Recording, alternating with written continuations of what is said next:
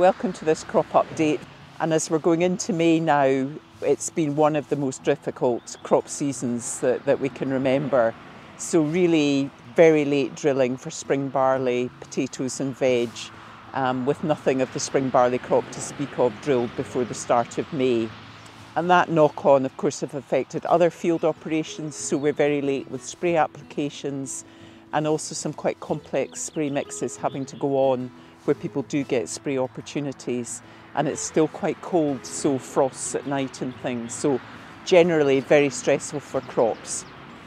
If we kind of go through them one by one, um, the winter barleys, some of them have missed their T1s and now are booting or awns peeping, um, and quite a lot of rhynchosporium on some varieties there.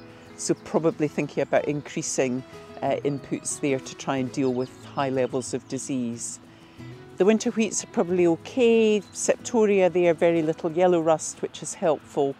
Um, but again, you, we're getting to T1 timings now and then trying to alternate to something strong at T2.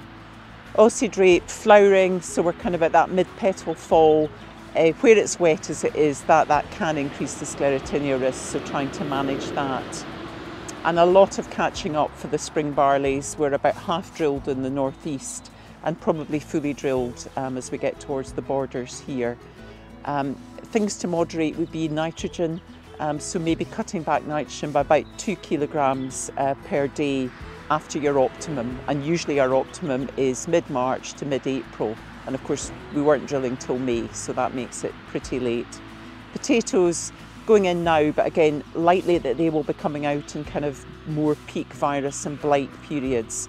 So we'll be managing that as, as we go through the season more carefully.